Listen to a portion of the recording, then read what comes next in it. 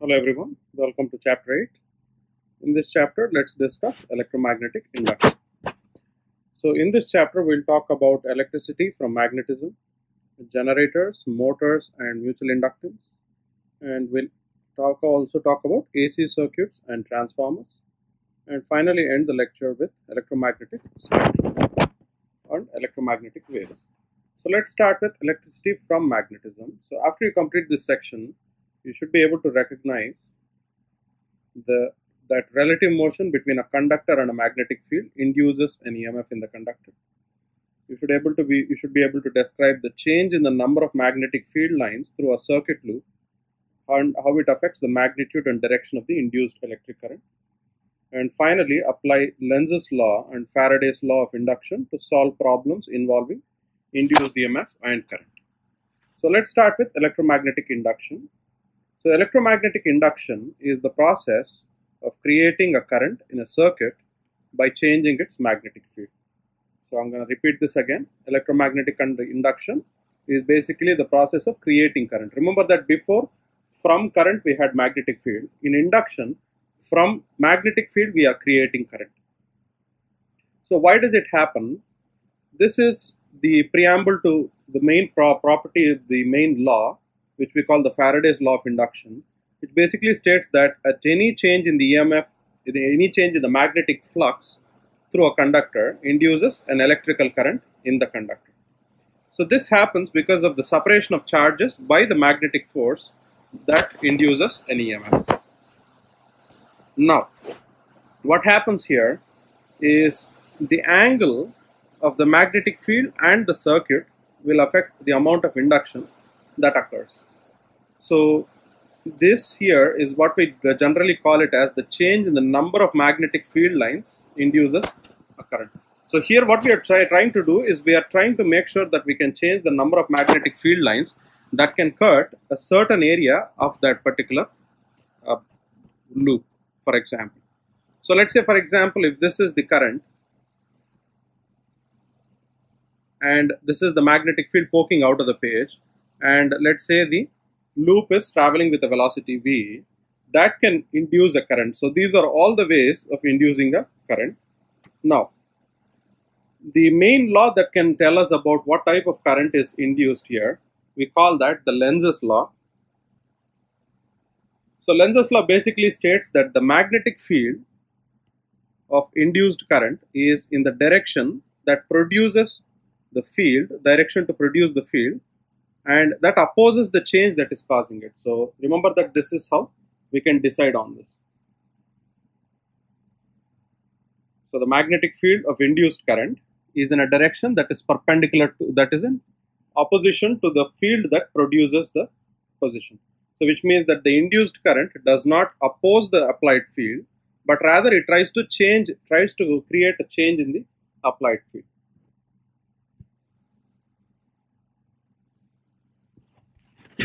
Now, so what is the what are the characteristics of this induced EMF? So the first one is the magnitude. The magnitude of an induced EMF can be predicted by using the Faraday's law of magnetic induction, so which is the precursor to all of electromagnetic induction.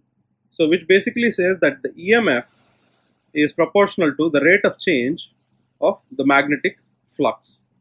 So we call phi m, we call it the magnetic flux. So magnetic flux basically is the number of field lines that pass through a given area.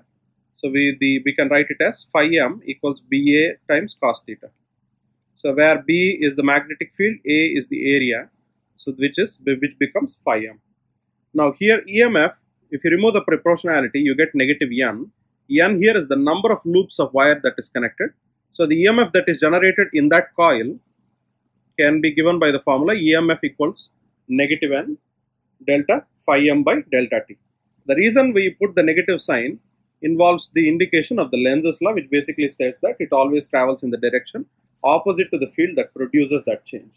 So let's try and solve a problem so that we can understand this much better. So here you have a coil with 25 turns of wire and is wrapped around a hollow tube with an area of 1.8 meter square.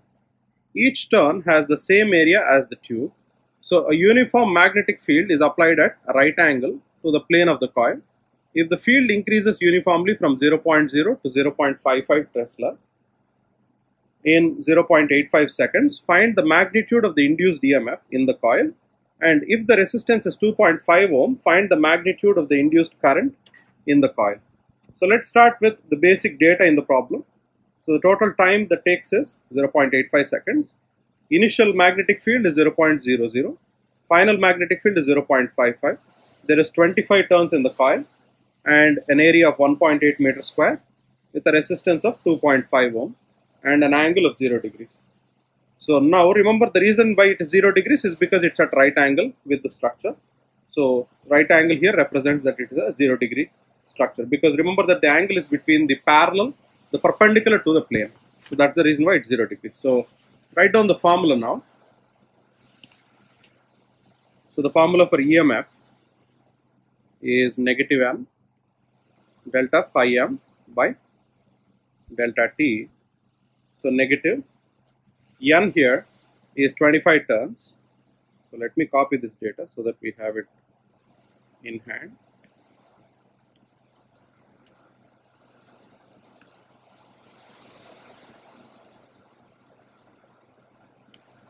So this is the data that we need.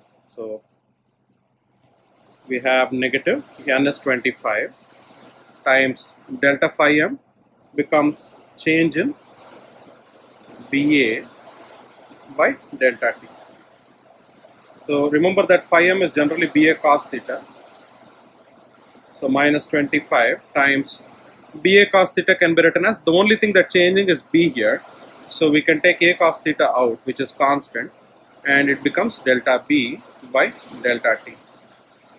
So minus 25 times A, the area given is 1.8 meter square times cos theta is cos 0 degrees times delta B is BF minus BI which is going to be 0.55 divided by delta T becomes 0.85 seconds. So now calculate the entire value. So you start with 25 times cos 0 is 1. So you have 25 times 1.8 times 0.55 divided by 0.85 equals 29.18 sorry 25.12 so the e this is emf remember that emf is in volt. So this is the the number of volts so which you can round it off to negative 29 and if you want to write it to be negative 29.12 it's fine. Now what else is given? They have also given us the resistance. We know that v equals IR so v here becomes EMF so EMF equals IR we are finding I here which is the induced current. So I here becomes EMF by R. EMF is minus negative 29.12 divided by R is 2.5 ohm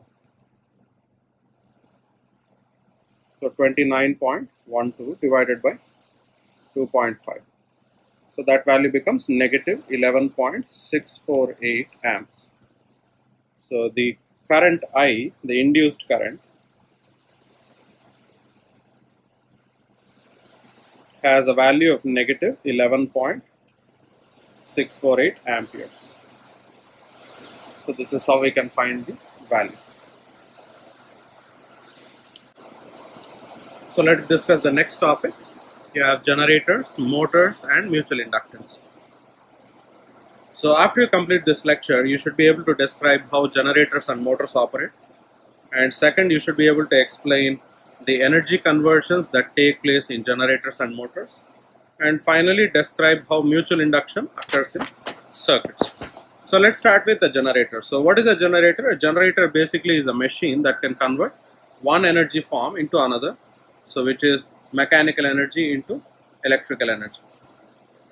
So generators use induction to convert mechanical energy into electrical energy. So the principle again is still the same induction. So the induction principle here is that a generator generally produces a continuously changing EMF. So the continuously changing EMF produces a type of current we generally call the alternating current. So generators only produce continuously changing EMF and this continuously changing EMF is what causes it to form current here. So what happens here is that when you rotate the current inside a magnetic field, the magnetic field produces a force on each end of the wire. So for example, if you consider that if this is a coil, so the coil produces, so on this, wow, in the magnetic field, so when it's in a magnetic field like this, so it pushes it downward this way and on this end it pushes it upward. So this creates what we generally call a circular motion or rotatory motion and this rotatorial motion that originally that was created so when you rotate it inside a magnetic field it continuously changes the EMF. So when it continuously changes the EMF that in turn produces a continuously cutting uh, magnetic field so this continuously changing EMF then creates the induced current. So that current is what we enjoy it as electrical energy. So this is a basic functionality of a generator. So the current that is produced is alternating current and is it is generally an electrical current that changes direction at regular intervals.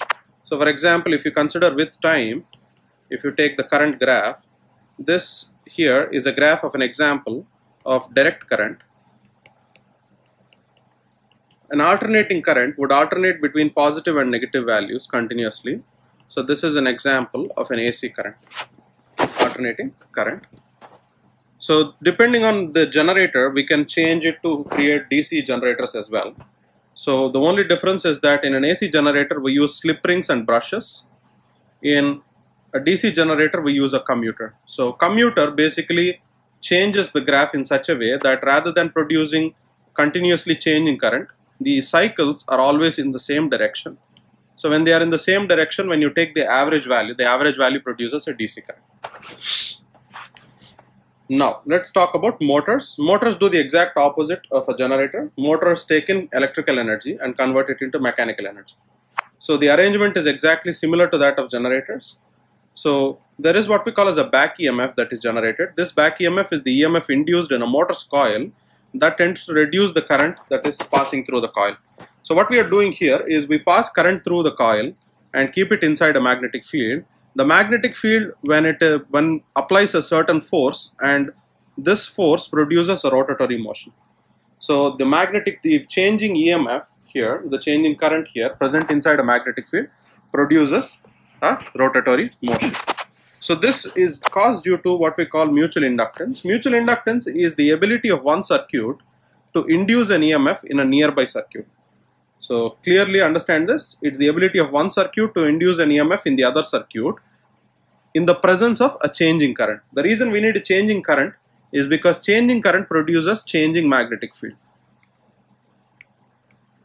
And the magnetic field that is generated by one coil affects the other coils circuits by producing current in that coil. So this is how the mutual inductance phenomenon works. So the formula for mutual inductance is minus m times delta i by delta t. So m here is called as the coefficient of mutual inductance. Delta i here is the change in current and change in current over change in time. So that is about mutual inductance. Next let's talk about AC circuits and transformers. So what are AC circuits here? So let's talk about what we call effective current. Effective current in general is called as the RMS current. The RMS current of a circuit is the value of alternating current that gives the same heating effect as that of the corresponding value of direct current. So this is a general value. This general value is given by the maximum current by root 2 which is about 70.7% of the maximum current produced by that circuit. So the RMS current and the RMS EMF are in an AC circuit are the most important measures to describe the characteristics of an AC circuit. So the resistance here also influences an AC circuit. So when you take instantaneous values, we can generally call it delta V and delta I. The maximum value is delta V max and delta I max, sorry I max. RMS value is 1 root, so divided by square root 2. 1 over root 2 times the maximum value gives you the RMS value which is about 70.7%. Now let's take a problem and let's try to solve using the formulas. So a generator with a maximum output of 205 volts connected to 115 ohm resistor. So calculate the RMS potential difference and find the RMS current through the resistor and also find the maximum AC current in the circuit. Right. So what is the RMS current here uh, value here 205 volts and the resistance is 115 ohms. So we want to know the RMS voltage. So sorry this is maximum.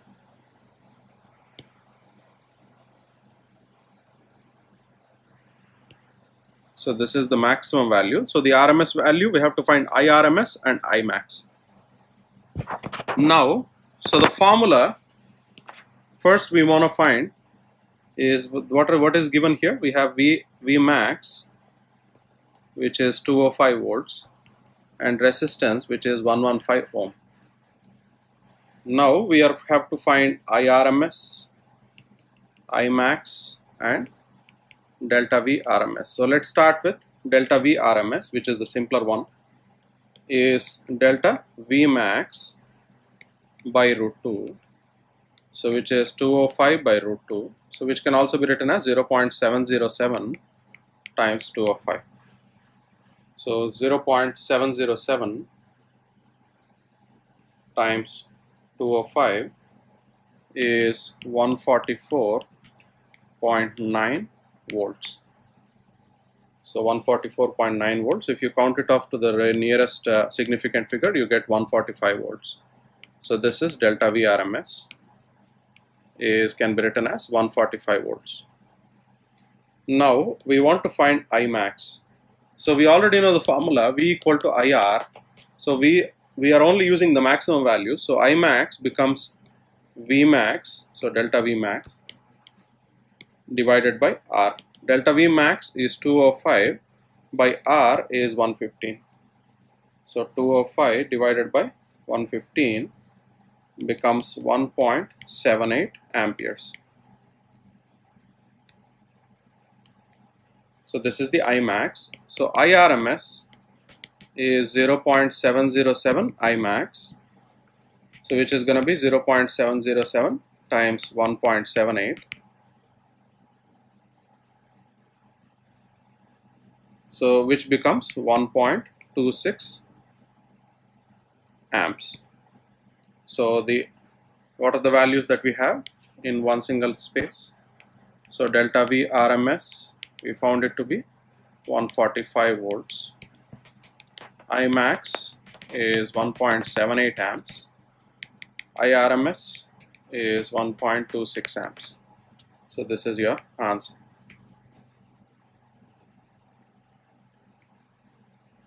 So this is your answer.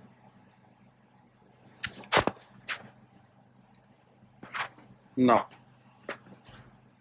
let's discuss the next concept transformer. So what is a transformer? A transformer is a device that is used to increase the amount of current that passes through the increases the EMF or decreases the EMF. So a transformer is an EMF altering device. So it's a device that can increase or decrease the EMF of the alternating current. So the reason the relationship between input and output EMF is given by what we call the transformer equation which is delta V2 by delta so delta V2 by delta V1 equals N2 by N1 so this is the formula delta V2 by delta V1 becomes equal to N2 by N1 so where delta V2 is the number N2 is the number of turns in the secondary coil and N1 is the number of turns in the primary coil. So what would a transformer look like? For example let's say a transformer is made of a iron laminate. So you have sheets of iron pieces cut into rectangular uh, rings. And on one side you have the primary coil and on the other side you have the secondary coil. So this here, the voltage here is delta V1. The voltage between these two parts is delta V2 and here the number of turns is n1 here the number of turns is n2 now here if n2 is greater than n1 what will happen so automatically delta v2 will be greater than delta v1 if n2 is less than n1 then automatically delta v2 will be less than delta v1 So when N2 is greater than N1, we call that a step-up transformer. And when N2 is less than N1, we call that a step-down transformer. So step-up transformers are generally used in power stations to increase the voltage and step-down transformers are used around localities uh, near your neighborhoods to decrease the amount of voltage and bring it back to the normal voltage of 120 volts or 240 volts depending on the country you live in. So this is how in general it works. Now transformers they generally assume that, that no power is lost between the primary and secondary coils but in reality there is a little bit of efficiency loss. That efficiency loss turns into heat. That's the reason why uh, transformers are generally dipped in uh, heating agents uh, cooling agents such as oil or grease. The reason mainly is because to reduce the amount of heat and cause uh, not cause any uh, you know failures. So real transformers typically have efficiencies ranging from about 90 to 99 percent so the most common one is the ignition coil in a gasoline engine. It's also a form of a transformer. So now let's go to the last topic, electromagnetic waves. So what is an electromagnetic wave and what is the propagation of electromagnetic waves? So electromagnetic waves are the waves that travel at the speed of light and are associated with oscillating perpendicular electric and magnetic fields. So a combination of perpendicular electrical and magnetic fields oscillating in free space is what we call an electromagnetic wave. So electromagnetic waves are transverse waves, which means they behave the same as light waves. And the direction of the travel here is perpendicular to the direction of oscillating magnetic, oscillating electric and magnetic field. For example, if this is the direction of the electric field and this is the direction of the magnetic field, then perpendicular to both of them will be the direction of propagation of the field. So this is how the propagation in general works. So this is an example here. The yellow that you see here represents the electric field. The blue here represents the magnetic field and the red here represents the velocity and the direction of propagation of the wave. So this is a crude example of an electromagnetic wave. Now all electromagnetic waves are generally produced by accelerating charges. So electromagnetic waves, what are they special about of? They, have, they can transfer energy. The energy of electromagnetic waves is stored in the waves oscillating electric and magnetic fields. Now this here is what we call an electromagnetic radiation is the transfer of energy that is associated with electric and magnetic fields so this radiation varies periodically and it also travels at the speed of light. So this is an example of the sun at different wavelengths of radiation and how it looks like when you use different uh, different waves to look at the sun. So what are so high energy electromagnetic waves they can behave as particles and an electromagnetic wave's frequency makes the wave behave more like a particle so this notion is what we call as a wave particle duality. So to explain this was the first uh, person to explain this was Einstein who named it uh, a photon. So photon here is a unit or a quantum of light. So photons can be thought as particles of electromagnetic radiation. They generally have zero mass and they carry about one quantum of energy. So that energy is given by the Planck's law which we will discuss in the next uh, chapter. Now the electromagnetic spectrum generally ranges from very long radio waves to very short wave, very short wavelength gamma waves. Now the electromagnetic spectrum has a wide variety of applications and characteristics. So best example of this is to look at all the waves that are possible there. So the first one is the radio waves, which has the highest uh, highest wavelength and lowest frequency. So we are going we're, we are going in increasing frequency and decreasing wavelength. Remember this part. So radio waves are the ones that have low frequency, high wavelength. So these are generally used for communications and television. Next you have microwaves which are about 30 centimeters to 1 millimeter in wavelength and they are generally used for radars and cell phones.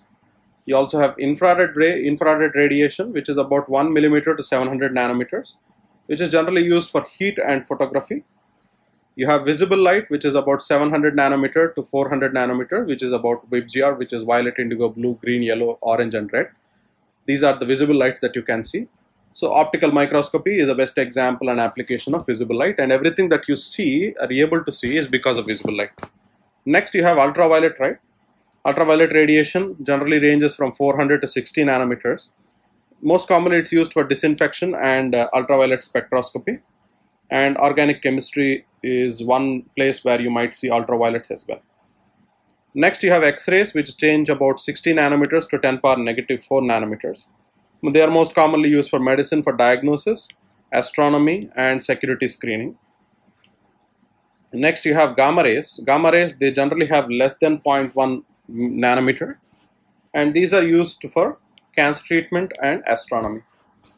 So these are the common electromagnetic spectrum and this is the diagram that shows you the electromagnetic spectrum and the comparison in terms of the wavelength of where the light, where you can see the light. So you go from really small, really high wavelengths to really small wavelengths. So where you're starting from radio waves to the other side which has the shortest wavelength which is gamma ray. So as the wavelength decreases, the frequency will increase. Remember this principle. So this is about electromagnetic spectrum. So with that, we end our lecture on electromagnetic induction.